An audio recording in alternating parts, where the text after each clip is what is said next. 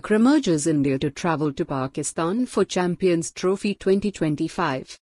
Former Pakistan captain Wasim Akram believes India will get looked after amazingly well if they travel to Pakistan for the Champions Trophy in February next year and reckons it would be a great thing for cricket. I think whatever I'm reading, there are positive vibes from the Indian government and the BCCI, Akram said. I also read somewhere they will play probably all their games in Lahore. They will probably come to Lahore and travel back the same night. I'm all for it, as long as India is comfortable. And I can promise you, they are going to get looked after amazingly well.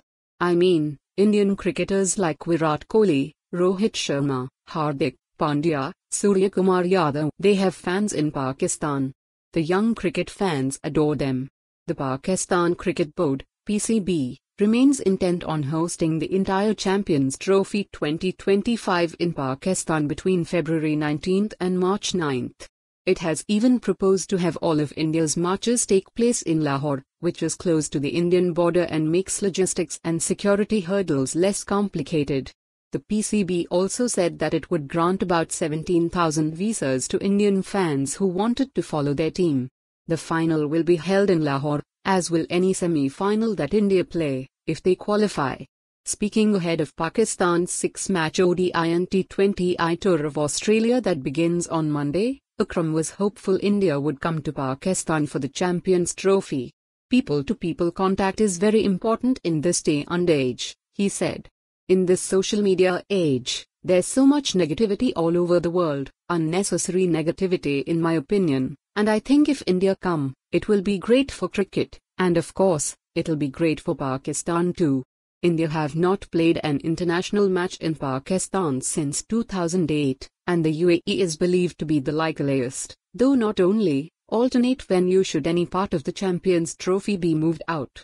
The BCCI did not send a team to Pakistan last year for the Asia Cup, prompting the tournament to be shifted to a hybrid model with the latter stages played in Sri Lanka. But Pakistan did travel to India right after that for the 2023 ODI World Cup, where they missed out on a semi-final spot.